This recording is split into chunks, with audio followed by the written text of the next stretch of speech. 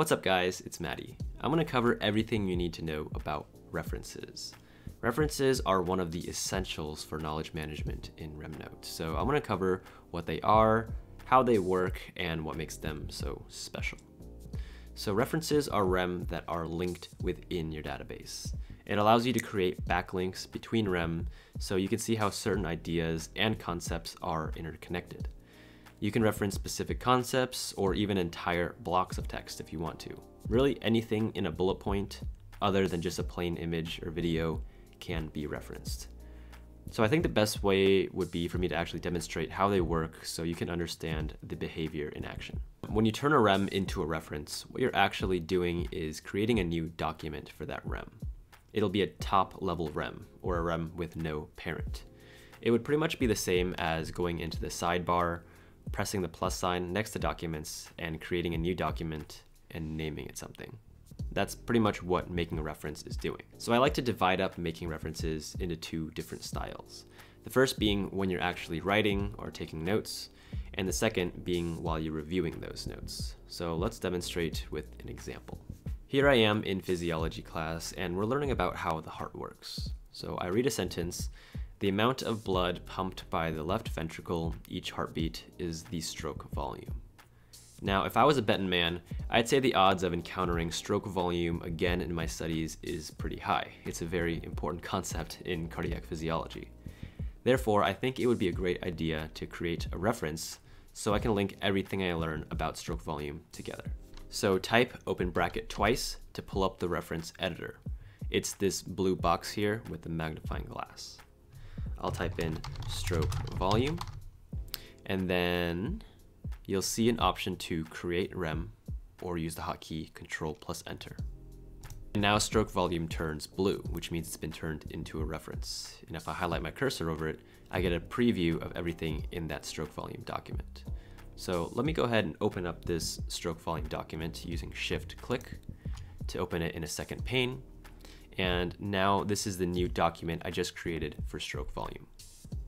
So anytime you create a reference this way using the open brackets and control enter, it'll create a reference with the hashtag stub. Now the stub just allows you to find all the references that you've created this way, just to track all of the different references that you might have made. Now once you reference a rem at least one time, a couple search boxes will appear in that document. The top one shows any places that you've already linked your rem. So if I expand it, you can see that note I just wrote about stroke volume and where it came from, linked to this document. Now, back in my cardiology class, I continue learning and encounter the equation for cardiac output. Cardiac output is equal to heart rate times stroke volume. Now, I've already created a reference for stroke volume, so I don't have to make a new one all I want to do is link this new stroke volume to that same document. So again, I'll use two open brackets, type in stroke volume, and this time I'm going to choose the stroke volume that I just created, not make a new one. This can get a little tricky because you can create multiple documents with the same name. Like I can make five different stroke volume rem all with stubs, and all this is going to do is make it harder to keep track of my notes. So instead, I'm just gonna choose one that I already made and hit enter. And now if I open up this stroke volume document again, using shift plus click, you'll see that there are now two references in this portal. And both of those notes for my cardiac physiology class are shown here. Any changes that I make to the actual stroke volume document, the one with the stub, is gonna be reflected in every location. For example, if I delete some letters in volume, you can see that all of those changes are replicated.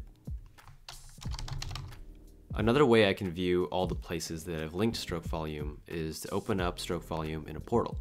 So I can do that by using Control plus S to open up the search portal, type in stroke volume, hit enter, and now you can see that I just pulled in stroke volume. And on the right side, you can see a number next to this link icon. That number represents how many different times I've referenced stroke volume. And if I click on it, it's actually going to show me all the instances that I've also referenced stroke volume. And I can click on these different places to go to that actual document. So the cool thing to note is that the entire stroke volume document will be linked, not just the header. So let me open up stroke volume by using Control plus P, typing in stroke volume to open up that document. Now I can turn stroke volume into a flashcard if I want by adding two colons and giving it a definition. So stroke volume is end diastolic volume minus end systolic volume. I can add children to this rem as well. And if I hover my cursor over any reference of stroke volume, you can see that everything in the document will be displayed. So it's like having a personal page for everything I need to know about stroke volume linked to all the places that I've learned about stroke volume. Now let's say you decide you want to unlink stroke volume from some of these documents. Well, all you have to do is delete the reference and it'll be deleted in the document. And you can also delete it from the document itself. And just because I've deleted all the references to stroke volume, it doesn't mean that the stroke volume document gets deleted. As you can see, it's still here, it just has zero references. All right, let's move on to another example for using references. So now I'm quickly reviewing my notes and I want to create references for other ideas or concepts. So looking back at that equation for cardiac output, heart rate seems like a pretty high yield topic that I've probably encountered already in my studies. So I'm going to make a reference for heart rate as well. And to do this, I'm just going to highlight over heart rate, type 1 open bracket to bring up the magnifying glass reference editor, and type create rem. So just like before, heart rate now turns blue. It's been made into a document with a stub. I'm going to hold shift, press click to open up heart rate in the second pane like I did before. And now let's say that I wanted to link heart rate to any other time that I might have used it in the past. So there's another search portal at the bottom of the document called find text references. So this is gonna search my entire knowledge base for any time that I've used the phrase heart rate before. And as I expected, I've used heart rate many times before, 35 times to be exact. And I can now link all of these instances of heart rate to this document.